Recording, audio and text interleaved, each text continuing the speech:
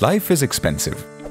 And we work hard to provide our family and our children with what they need to succeed in life. We carefully choose their school to ensure they have the right start in life. We also need to give them the tools they need to thrive financially. For example, Rahul. He started teaching his kids, 9-year-old Deepa and 13-year-old Sachin, life lessons about finance and money management when they were just 5 years old using everyday events and routines. He began small. He started taking them to buy a packet of milk or bread in the morning. He'd give them the money, let them march into the shop and buy the item. This taught them basic commerce. You have to pay money to buy goods. It also improved their maths and accounting skills as they had to get back the right amount of change. Rahul also started to cultivate good financial habits using kid-friendly routes.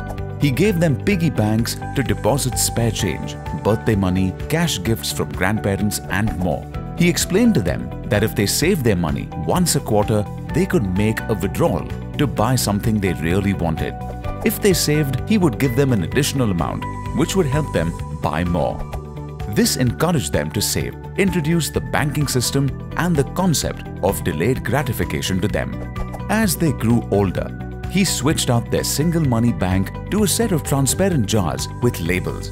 He asked them to think about what they would like to buy in the future. A hoverboard, a piano, a bike and label each jar accordingly.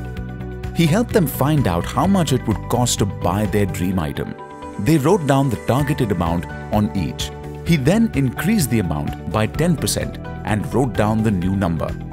He advised them to work towards the bigger amount as prices rise over time and he didn't want them to be disappointed when it was time to make their purchase. He also advised them that while they could invest higher portions in goals they wanted to achieve sooner, it was a smart idea to place some money every month into long-term goals like buying a bike when they are 18.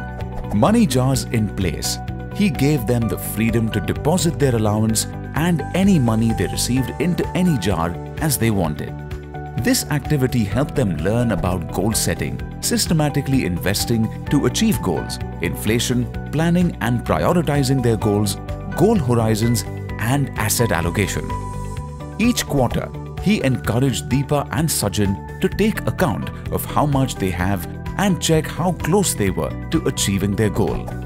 If they hadn't reached their targeted amount, he would offer them a loan with the understanding that they would have to pay him back using future allowances and monetary gifts. And until the money had been paid back, there would be no quarterly withdrawals or interest. This taught them of the fallacies of the credit system. However, if they had reached their target amount and they were still sure that they wanted their dream item, they would head out to make a purchase. This taught them how to budget, to evaluate their goals and the sweetness of achieving their goals. Rahul and his wife Sheila also encourage their children to think and ask questions about finance by openly discussing their own financial goals and the different investment instruments available from traditional instruments like fixed deposits to potential inflation-beating instruments like mutual funds. These discussions indirectly taught their children about the pros and cons of different financial instruments as well as exposed them to the concept of investing and how everyday factors from natural disasters to taxes affect the market and potential growth. By using everyday experiences and situations, Rahul and his wife work towards teaching their children about essential financial concepts and good financial habits and turning them into financial savvy adults. Start teaching your child financial ABCs today and turn your child into a financially savvy adult tomorrow. An investor education and awareness initiative of Aditya Birla Sun Life Mutual Fund. Mutual fund investments are subject to market risks. Read all scheme related documents carefully.